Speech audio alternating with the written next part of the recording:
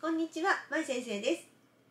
今日は練習している曲の中で、えー、ちょっと速い動き、上に行ったり下に行ったりするような動きのある場所、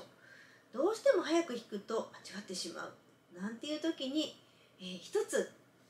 こんな練習どうですか？という方法をお知らせします。えー、例えばどんなところかというと、これ、えー、ソナチネアルバムのこんな曲ありますね。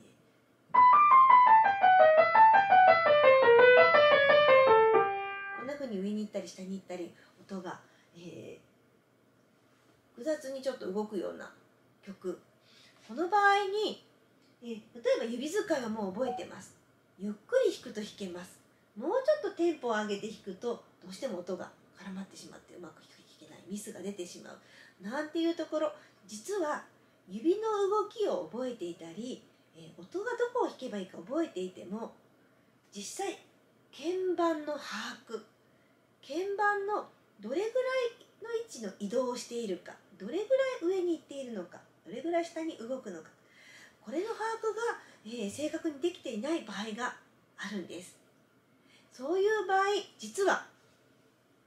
この1本指もう本当に指をさすような形で指をこんな風に動かして1本指ですらすら弾いてみてください。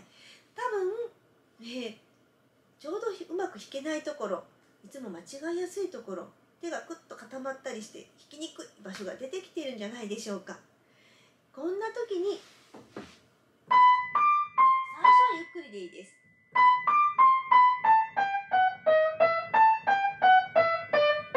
こんな風に上がったり下がったりする時に多分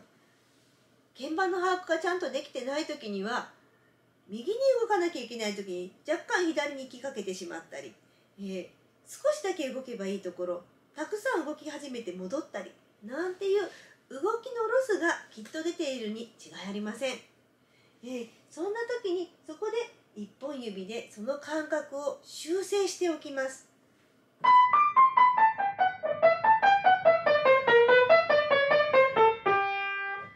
ここでちょっとミスをしたところなんかここを前の音から後の音への動きを一本指で修正しておきます。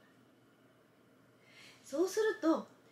鍵盤の、えー、見た目の把握と同じ感覚が、えー、手の感覚と一致をしていきますから頭の中で早めに次の動きを想像しながら弾くことができてきます。一本指動く時って必ず今の場所を弾いている時に次の音の予測ができていないと動けないんですよね。だから一本指で練習をすると左右の動きがとても拍が速くなるということです。鍵盤の見た目通りに動くことができます。是非この一本指練習試してみてください。